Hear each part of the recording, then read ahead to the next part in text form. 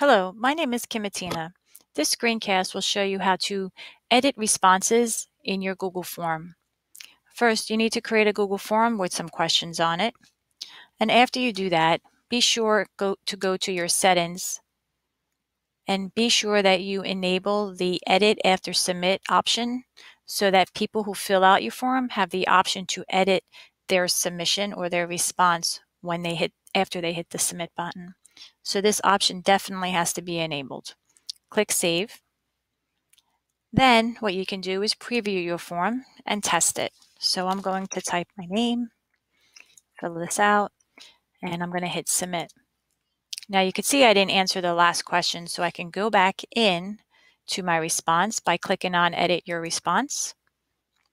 And you see here that I get this um, message here, and it's telling me that I am editing my previous response and that I should be careful when sharing the URL of this page because it will allow others to also edit your response.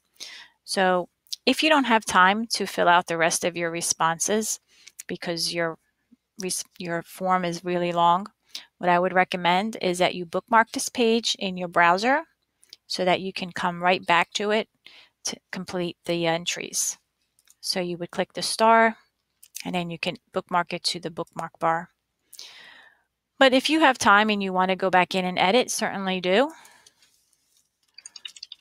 Add your information and hit submit.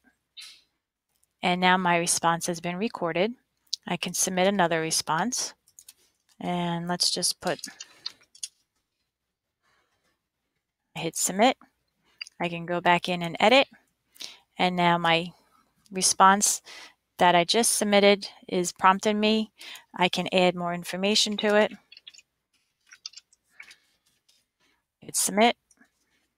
And my response is recorded. So that's how you can edit your response after it has been submitted. I hope you found this screencast helpful.